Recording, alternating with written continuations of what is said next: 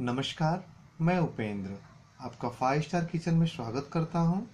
आप सभी कटलेट्स, पकौड़ी, टिक्की में ब्रेड क्रम्स का इस्तेमाल करते ही हैं। तो चलिए, आज मैं आपको ब्रेड क्रम्स बनाना सिखाऊँगा। ब्रेड क्रम्स एक्स्ट्रा नमी को सोख लेता है।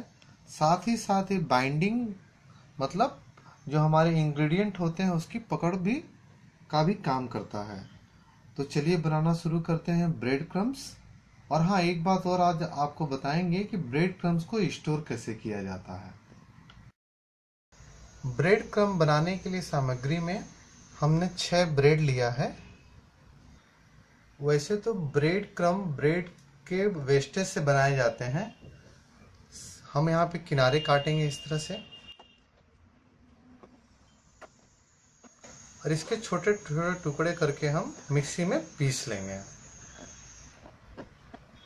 इसके हम करते हैं लोग। लेकिन हम यहाँ पे सभी का उपयोग करेंगे, इसको भी हम मिक्सी में डाल के पीसेंगे।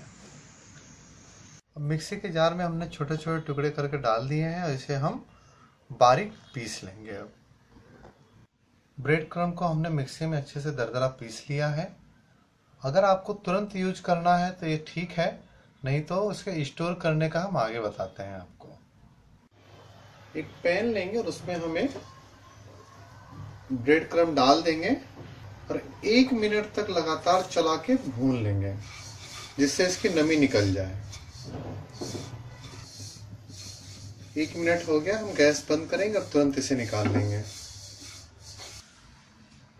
तो ब्रेड से हमने ब्रेड क्रम बना लिया है। अगर आपको इसे स्टोर करके रखना है तो आप इसे जिप लॉक बैग में भी रख सकते हैं या एयर टाइट कंटेनर में रख सकते हैं। या जब भी आपको डिश बनानी हो, आप ब्रेड लीजिए, तुरंत उसको मिक्सी में पीस के आप तुरंत उसका ब्रेड क्रम बना लीजिए।